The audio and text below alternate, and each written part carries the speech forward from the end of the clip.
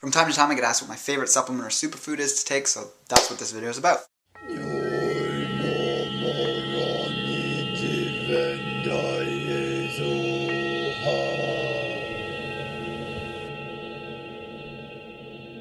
Hello Kindred Longevity Lifestyle Designers, this is Zak here Secrets of Longevity.com. Aphanizomenon flos-aquae is a unique species of algae that grows in Klamath Lake, Oregon. It's a blue-green algae, and one of the best companies that's harvesting it is named E3 Live, and that stands for Earth's Essential Elements. So that's the E3, and then it's live because it's been frozen. As far as I know, it's the only company that's offering it frozen as opposed to dried, but they do have the dried product as well where they take the algae and dry it, much like you'd get spirulina or chlorella dried in a powder. So the unique thing about this algae is, compared to the other types of edible algae on the market is that it has a very high um, amount of minerals in it. And this is due to the rich volcanic crater that the lake is formed in, the richness of the minerals in that crater, and also the glaciers that feed the lake, and then there's obviously springs as well. And because it's so mineral dense and gets so much sun the majority of the year, there's very little cloud cover, the algae has evolved a very thin, thin cell wall, um, just so that it can take in these nutrients so easily. It doesn't need to have um, the robustness in the sense of hardiness and uh, tough outer shell that chlorella has, spirulina has, basically most wild plants have.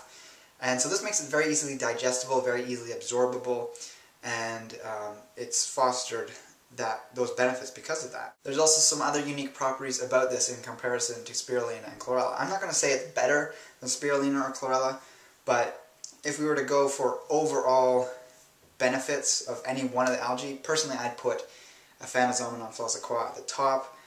Um, if you wanted specifically detoxifying was your strategy at the moment, then chlorella might be a little bit higher because it's higher in chlorophyll. If you wanted protein and some other unique things about spirulina, then that would be the top choice. But for overall benefits, in my opinion, the Klamath Lake algae does top the other two. And that is because it has some unique phytochemicals, one of them being phenylethylamine, which is PEA for short. And this is only found in two foods that we know of at this point. It's a very unique compound that is uh, known as the love molecule because it's also produced in our brain when we have those feelings of being in love. And uh, chocolate seems to have that property if it's raw, because it's a very delicate molecule. It can be degraded by heat easily.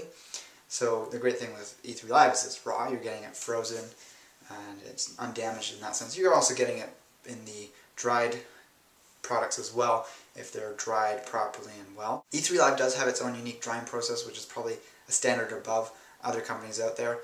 Um, but in my opinion, it's definitely worthwhile getting the fresh and frozen uh, product as opposed to the dried product. If you're traveling a lot, yes, the dried is much handier in that sense. So you've got the PEA, you've also got the phycocyanin, which is also in the blue pigments. So these two things are found in the blue pigments mostly. The phycocyanin is also in spirulina, because spirulina is a blue-green algae, but Klamath Lake algae is much higher in these blue pigments.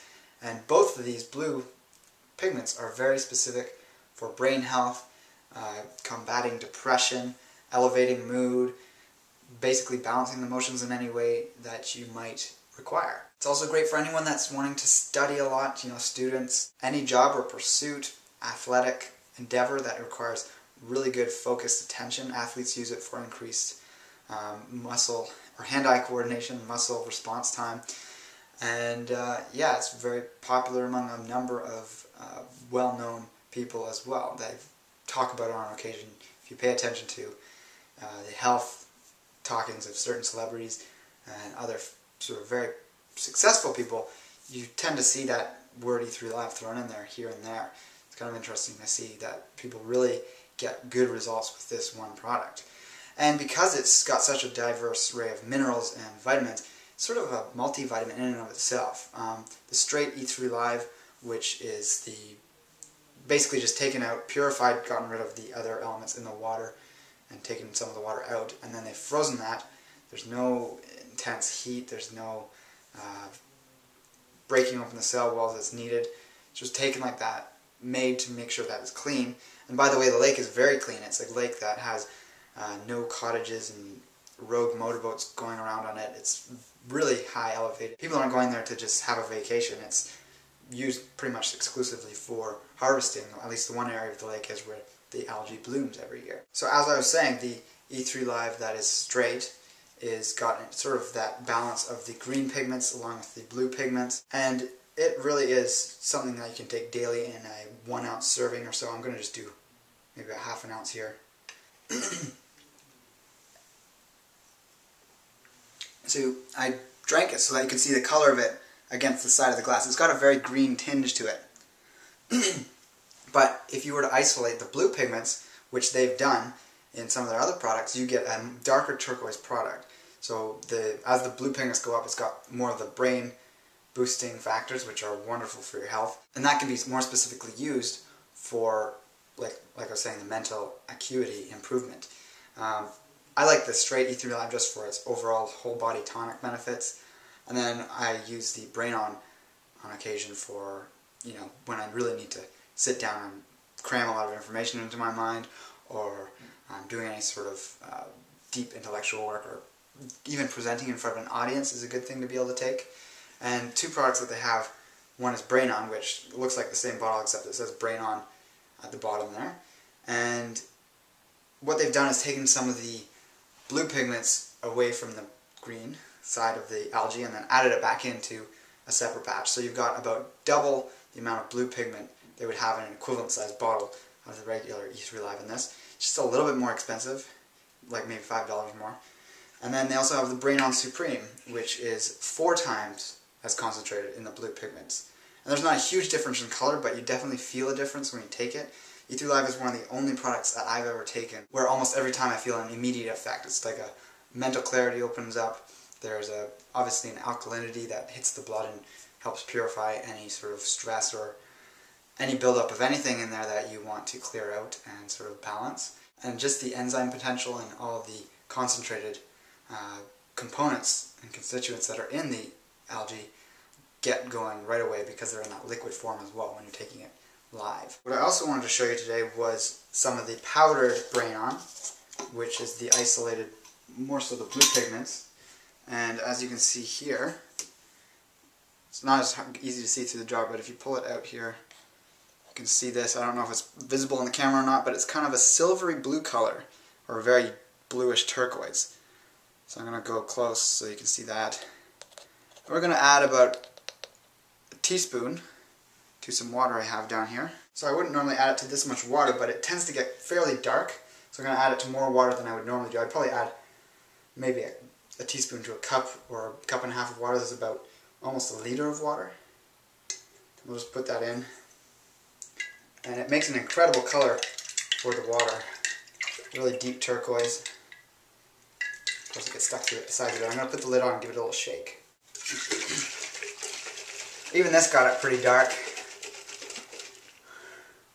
There'll be little chunks in there that you can break up with a spoon, but you can also throw it into a smoothie, blend it up, and then you don't have to worry about getting those last few bits that you don't totally mix in. So here we have it. It's darker than I even meant it to be, but that's still, you can see, beautiful color. It's also one of the more pleasing flavors I find, even when it's got the concentrated blue pigments. It's kind of a, to me it tastes like lettuce juice, like if you were to juice romaine lettuce or a really mild green. It's got that green flavor, of course, and it's not going to be sweet or taste like chocolate, but it's got a much more pleasant flavor than chlorella and spirulina, in my by a long shot. And uh, yeah, it's a great thing to add in small amounts every day. If you're more active or you're really in a position, whether it's athletic, business, or a student, where you need to be taking more of it, you can definitely do more of the E3 Live. I find with the Brain On, you want to kind of stay around that ideal dosage. If you keep going higher than that, perhaps you might find you're fine with it, but personally I can't go higher than one or two tablespoons of Brain On at a time, otherwise I get a, almost like there's too much blood flow to my head and it just feels a little spacey, but that might be exactly what you need in your unique situation for a period of time, and uh, you just have to go with your own feeling and work with it like that. In the comments below, let me know if you've ever used E3 Live or a Klamath Lake Algae, what your response was to it, uh, what benefits you got from it, whether you continue to use it.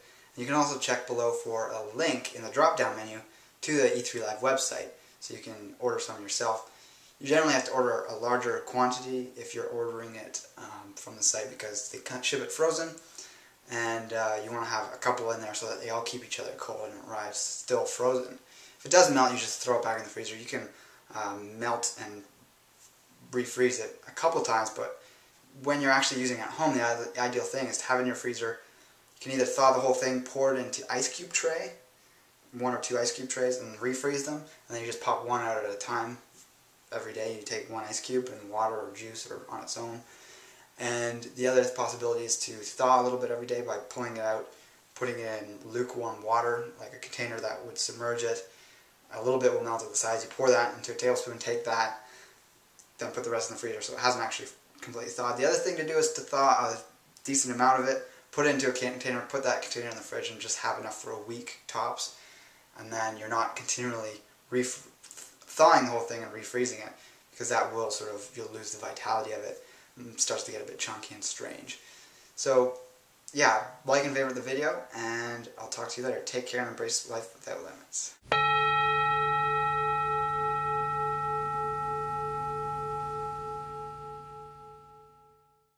I wanted to add that in the 1960s and 70s there was a lot of uh, talk around the possible toxicity or neurotoxicity of AFA, specifically Aphanizomenon flos-aquae, and there actually is several different types of subspecies within that uh, type of algae. Um, now specifically the Klamath Lake algae was not the ones that this uh, research on possible toxicity came from. It was actually, the scientific literature described a non-typical algae that did not um, bond together in terms of growing in large clumps, whereas that's not how the Klamath Lake algae AFA grows. They also later found that those types of algae that were studied were genetically dissimilar to the Klamath Lake algae, and it was even possibly a different um, species altogether, and it might have not even been an AFA, it was possibly a Anabaena species, not up on my different species of algae and what they all different ones mean, except for perhaps the edible ones. So that's just the result of that research at that time. I know a lot of this sort of fear has continued on in some people's minds, and I do occasionally get people say to me, "Oh well, uh, Klamath Lake algae has been found to be toxic, or the blooms were toxic." Uh, but E3 Live has probably the best um, harvesting technology of any of the companies that are harvesting the AFA, and it's able to actually pick up the AFA but not the other forms of algae because there can be some toxic forms of algae that grow in the lake or other regions of the lake, but they only harvest from one area when at the peak of the bloom, and then they have ways of not picking up the other types. And then, of course, they also test it, their uh, product, so that it doesn't uh, have impurities getting into it. Basically, over 10 years of testing, uh, no one's found toxic uh, or neurotoxic compounds or factors that come from uh, this algae.